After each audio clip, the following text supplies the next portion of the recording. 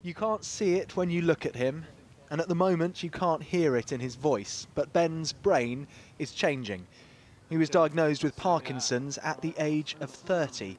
That was five years ago. Life's already a little tougher. Small things in life that you take, everyone takes for granted that people with Parkinson's struggle to do. Just ironing my shirts when you know you have a pile of ironing in the corner of the kitchen and stuff, and it used to take me 20 minutes to do 10 shirts, and now it takes me 20 minutes to do two shirts. Ben got married just before his diagnosis, and he's got two children. If you think about it too long, and too much, you literally lock yourself in the house and sit in the corner and wait for it to take over. As a dad, what does that mean then?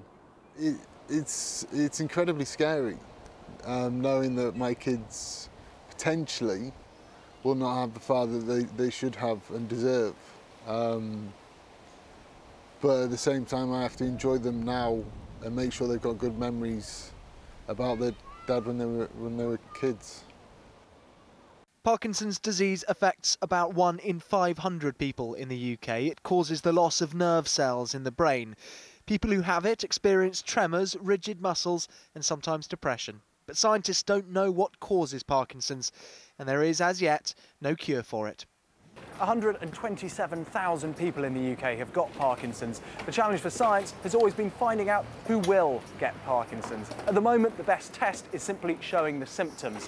What researchers in Edinburgh have now found is a particular protein that we all have in our brains, but that behaves differently in the brains of people with Parkinson's. You can see the protein here in red. It's called alpha synuclein. In Parkinson's sufferers, it develops into sticky clumps, so testing that stickiness could reveal the disease before symptoms show. The results look very exciting um, and we hope that this will turn into some sort of diagnostic test in the future. And that obviously has big implications for people who need to be diagnosed um, so they don't have to wait too long, but also in the development of new treatments that may in the future be able to slow down the progression of Parkinson's. Stepping into an uncertain future hasn't been easy for Ben and his family. For him, Parkinson's has brought depression as well as physical changes.